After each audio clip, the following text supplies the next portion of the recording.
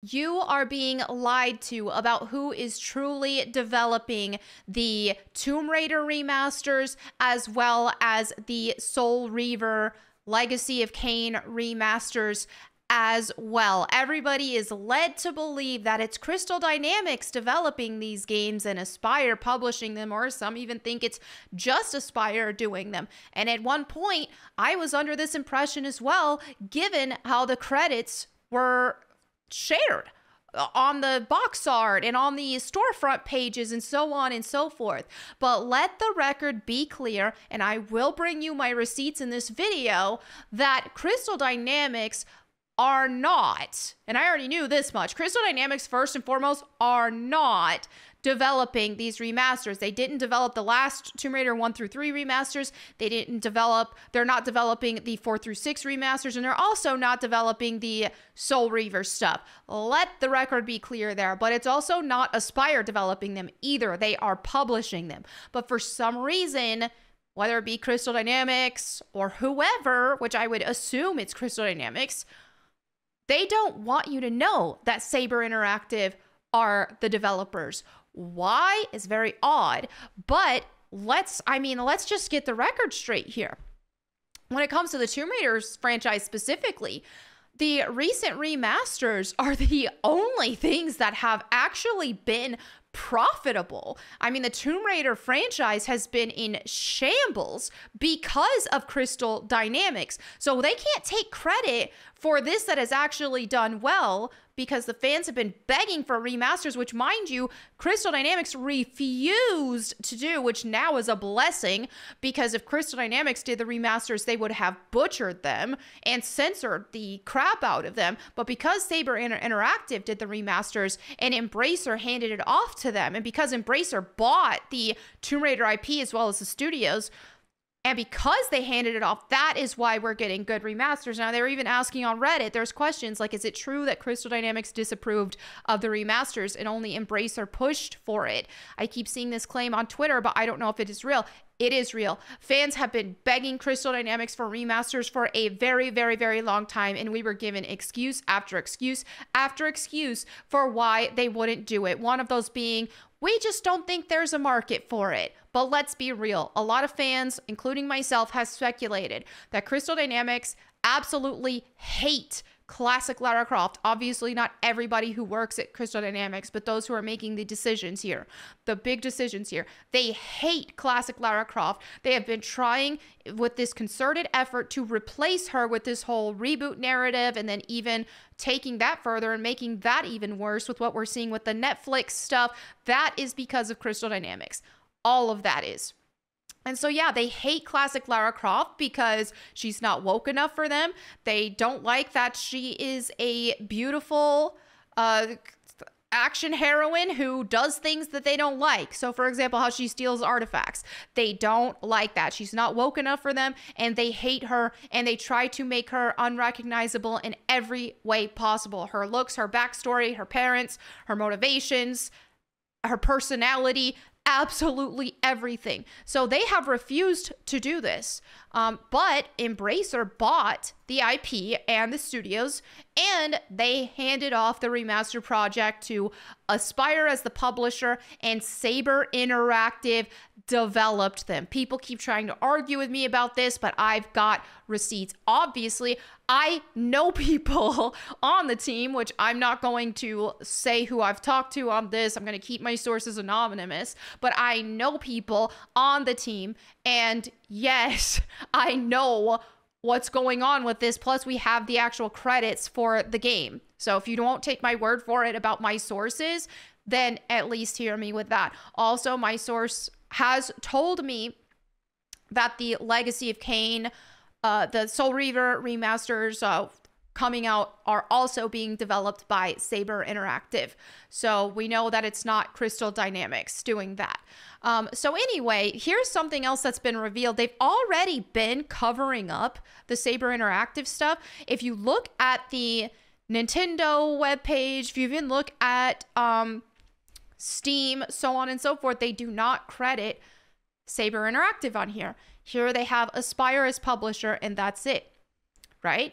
Um, I know on some pages they put Aspyr as the developer and publisher from what I've seen. And so a lot of people are led to believe that it's Aspyr. But what the truth of the matter is, is Saber Interactive are the developers, which right here you can see on the actual credits right? You see on the actual credits saber interactive development team you've got your production director your senior producer your build engineers game designer platform programmers so on and so forth. And for those who don't know the lore behind it saber interactive hired ex Progrer here he, if you don't know who he is, he has been developing fan made Tomb Raider projects for a very long time. The dude is a genius engineer.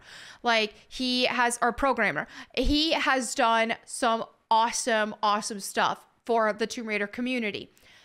And so they hired him. He put together an Avengers uh, team of Tomb Raider fans. And that is why the remasters have been amazing. That's why they look good. Um, you know, yeah, you look at the actual credits to see who are hired on that, right? So you have like, for example, uh, Giovanni Luca, he was working on a fan project of Tomb Raider 3 for a while. And so they hired him as lead artist. But then you have character artist Konrad Majewski. And you also have Victor uh, Pyatkin here. But Conrad, which I know I'm not pronouncing his name right. I'm sorry, Conrad. I always try to get it right.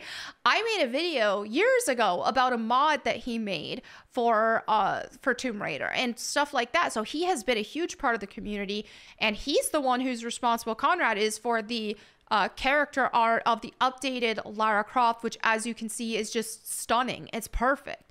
So, this super team has worked with Saber Interactive, were hired by Saber Interactive to create these remasters, but they want to hide the credit for them. You even see uh, on the physical editions, right, that for the Tomb Raider remasters that they partnered with Limited Run Games. I didn't get the physical copies just because I have beef with limited run games. They fired their community manager, who is a friend of mine. They fired Carolyn because, and I have a whole video about that, but because of some troon wildebeest had an issue with her because she liked libs of TikTok or she was following them, things like that. So, anyway, for stupid reasons. So, for that reason, I refused to support limited run games and I did not get the physical editions of the remasters as a result because that's how serious I am about not supporting this company. But at any rate, people are now getting their physical edition copies in, they're posting screenshots and so on and so forth. And if you will look at the box art and the credits on it, there it says Aspyr and Crystal Dynamics. This is misleading. This tries to make it look like Crystal Dynamics had a role in developing these games, which they did not. They did shoehorn themselves in the credits, but simply as like, oh, here is the franchise director, here is the franchise this, the franchise that. So, from what we know, franchise general manager, franchise art director, community manager, this, that, and the other. So, from what we know with Crystal Dynamics, is I don't know for some reason why they are given power with the Tomb Raider IP now that Embracer bought them makes no sense to me. So I would I am under the assumption that they may have had to do some approvals on certain things or whatever. I'm personally under the impression that things like the posters being taken down from the uh, Tomb Raider 3 uh, uh, gold expansion that got briefly censored and then put back. I'm under the impression that probably Crystal Dynamics had something to do with trying to get those posters down, so on and so forth. So, any affiliation, any approvals or this or that that Crystal Dynamics tried to uh, insert themselves in would only be negative stuff that they would probably have to push back against. That is my impression of the situation. But we do know that Crystal Dynamics did not develop these games. It is Saber Interactive. Um, so they're trying to mislead you into thinking that we have XProger here who worked with Saber Interactive on developing these games, and he says he tags Aspyr and says, "We don't see the developer logo." Hmm, why is that? So, um, yeah, this is definitely a concerted effort. I know that as a surprise and all this. I mean, people are like, what's going on here? We have Aya Winters here who said, I'm sick to death of Crystal Dynamics trying to erase things they have no business erasing, such as classic Lara, her backstory, and now Saber from the remasters they developed. Now imagine that. It is because of Saber that we are getting these amazing that we have got these amazing remasters and then we have the upcoming 4 through 6 amazing remasters coming. It is because of Saber Interactive that are delivering these faithful truly a, a, a love for the fans, right? The, a, a gift of love for the fans with this. So this is because of Saber. And they're not even listed on their own freaking game it just angers me. Uh, so then he says, one look at the credits at the end of the game says it all. Crystal employees are just credited for the sake of it. What did they do? Exactly. So we have Lucky here who says, wait until people find out Crystal Dynamics had more active participation in blocking ideas for the remasters, which I can't confirm or deny any of this, but it would not surprise me if that were true. Because here's what we do know from the fans is they and what we're seeing and even like Tomb Raider Angel of Darkness, the remaster, they are actively uh, trying to restore the game into uh, closer to its original vision, which everybody knows Angel of Darkness was rushed and that it's buggy, it's glitchy. There were certain features in the game that were supposed to be there that aren't, and we've seen from the leaked achievement list that they have actively been working on restoring that content. So there's so many other ideas that it that could have possibly been shut down by Crystal Dynamics. That would have been really cool to see and for the fans. So, um so yeah, we'll find out more about that uh, maybe one day, but or maybe not, but it would not surprise me because I've been trying to tell people this and people still don't want to believe it. But Crystal Dynamics hate here we have fixed just erase crystal dynamics. They don't deserve their name next to it. They hate classic lara croft and they hate the idea of all of this stuff. That's why crystal dynamics and you know what? You know what? Why they could be credited on here because they inserted their disclaimer in front of the remasters. They inserted their disclaimer disavowing the remasters and saying how terrible that the that the remasters were and how oh how offensive and how we don't align with this and we don't agree with it.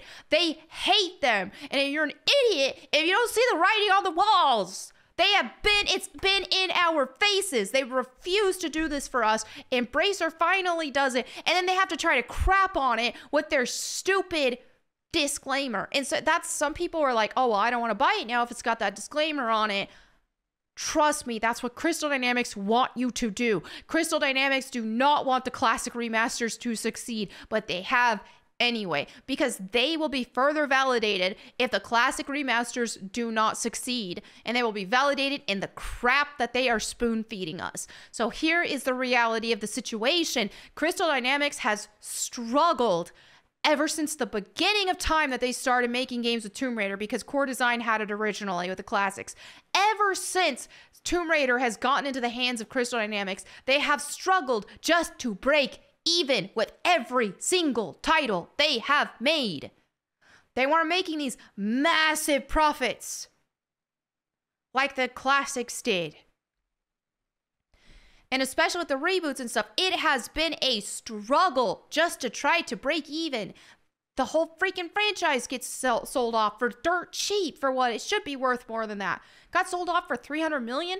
Mind you, each game had like over a 100 million dollar budget each. And they sold it for that cheap because Crystal Dynamics is running it to the ground. They are ruining it. They are trying to kill it. They are trying to murder Lara Croft. If Embracer didn't buy the franchise, we wouldn't have these remasters. We would just have this garbage. And so now Crystal Dynamics is working on, have been working on for a long time, their next mainline game, which every leak that we've seen of it has been utter trash and everybody hated it very in line with what we've seen with the Netflix animation. Everybody hates it. So now they've got Amazon Studios funding it. But let this crash and burn. Let it crash and burn and let these remasters continue to succeed. Then guess what'll happen? Crystal Dynamics will get fired by Embracer and they'll hand the series off to somebody else. Hopefully, Saber. But regardless, I don't want it in Crystal Dynamics' hands. And you know what? I don't care how who's offended by me saying this. I don't care anymore. I am sick of it. I'm sick of the disrespect that Crystal Dynamics has has given to Lara Croft and Tomb Raider franchise as a whole and Tomb Raider fans. At this point, I'm, I'm I don't want to play nice about it. Be gone, Crystal Dynamics. Be gone. You don't care about Tomb Raider. You don't care about Lara Croft. You don't care about the fans. We have been patient, patient, patient, beyond patient when the reboots were first dropping because we were told a lie. Oh, this is just getting her, this is her origin story. She'll get, she'll become the Tomb Raider. That never happened. Instead, they made her a protector of artifacts. She likes to restore artifacts to their rightful owners, and now they just gift her artifacts. She's no longer, she's literally not a Tomb Raider anymore. We were lied to. They hate Lara Croft, they hate Tomb Raider, they hate the fans. So don't be surprised that the fans don't want you anymore. And we want to see the franchise actually handed to somebody who cares, like Saber Interactive. So, anyway, if you're a Tomb Raider fan, if you are a Soul Reaver Legacy of Kain fan, just wanted you guys to know the truth. It is Saber Interactive who are giving you what you want. It is not Crystal Dynamics. So there you have it. Let me know what you guys think. I know I got really heated here, but y'all know how much I care about Tomb Raider. So let me know what you guys think in the comments below. I found this video is very important. We need to get this word out. I encourage other content creators to make videos about this. We cannot take this sitting down and we can't allow Crystal Dynamics to erase the people, the fans who are working their butts off to, to give us this this what we've wanted because Crystal Dynamics refused to do it. So it's my goal to let this be known to as many people as possible. And I encourage everybody else, let this be known. So, thank you all so much for hanging out with me today. Let me know what you think in the comments below. And if you want me to read the Bible to you, you can check out my Bible channel at Bible Time with Melonie Mac. Thank you all again. I'll catch you next time. And in the meantime, go boom.